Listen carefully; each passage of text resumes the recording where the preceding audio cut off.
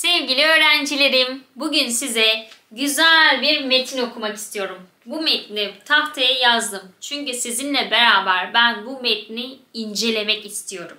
Tamam mı? Şimdi ben okurken virgülde yarım nefes, noktada tam nefes alarak, vurgulayarak, tonlamaya dikkat ederek okuyacağım. Neden? Çünkü karşıda beni dinleyen kişinin beni daha iyi anlaması için çocuklar bu şekilde okumalıyım. Evet, Adile Çavuş. Cumhuriyet ilan edildikten sonra Atatürk Tarsus'a gitti. Kendisini karşılayanlar arasında İstiklal Savaşı kahramanlarından Adile Çavuş da vardı. Bu iri yapılı esmer kadın Atatürk'ü görünce yere kapandı. Ağlayarak toprağı öptü. Dedi ki, senin bastığın yerlere kurban olayım. Atatürk Adile Çavuş'u omuzlarından tutup kaldırdı. Kahraman Türk kadına, sen yerde sürünmeye değil, omuzlar üstünde göklere yükselmeye layıksın dedi. Atatürk'ten anılar. Evet, bu güzel metni dinlediniz. Eğer çocuklar bir metni bir defa okuduğunuzda anlamıyorsanız birkaç defa okuyabilirsiniz. Her okuduğunuzda yeni şeyler öğrenirsiniz. Unutmayın çocuklar, bir kitap okuduğumuz zaman o kitabı bir defa okumayız. O kitabı defalarca okuyabiliriz. Yani öyle bir sınır yok. Bu kitabı bir defa okuyacaksın, bu metni bir defa okuyacaksın diye bir sınır yok. Biz her okuduğumuzda çocuklar o metinden yeni bir şeyler öğreniriz. O yüzden tekrar tekrar okuyabilirsiniz. Ben bir e, gazeteci gibi size sorular soracağım ve sizinle beraber buradaki metni didik didik inceleyeceğiz. Anlaştık mı? İlk sorum geliyor size. Siz de cevap verin bana olur mu? Tamam. Metnin başlığı nedir? Evet, başlık nedir? Duydum size. Metnin başlığı Adile Çavuş. Bu soruyu cevaplandırdınız. Bravo. Size artı veriyorum. Atatürk nereye gitti?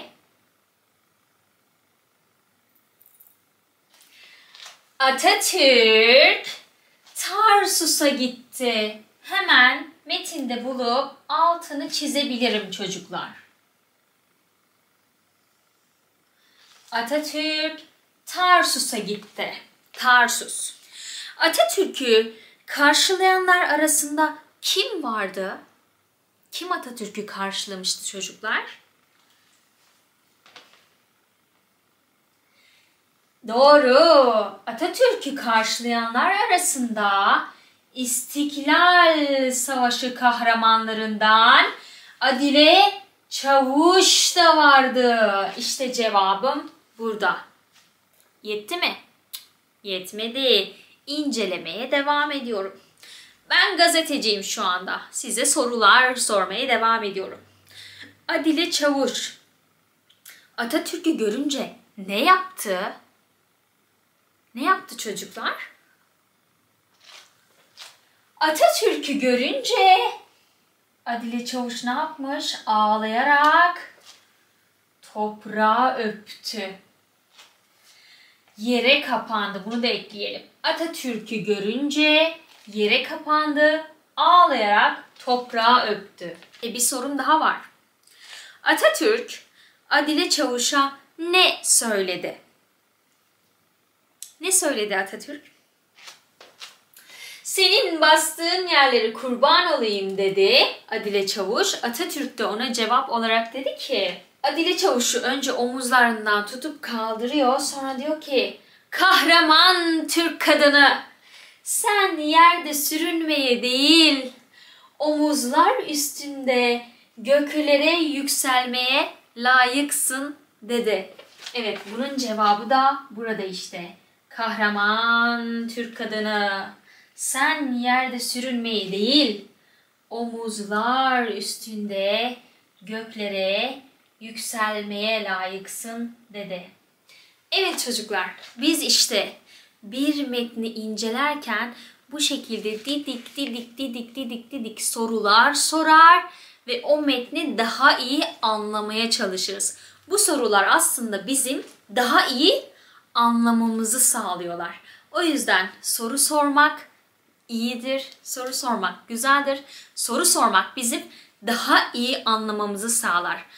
Sınıfta konuyla ilgili anlamadığınız bir şey olursa mutlaka öğretmeninize sorun. Sormak güzeldir. Bir sonraki derste görüşürüz. Hoşçakalın.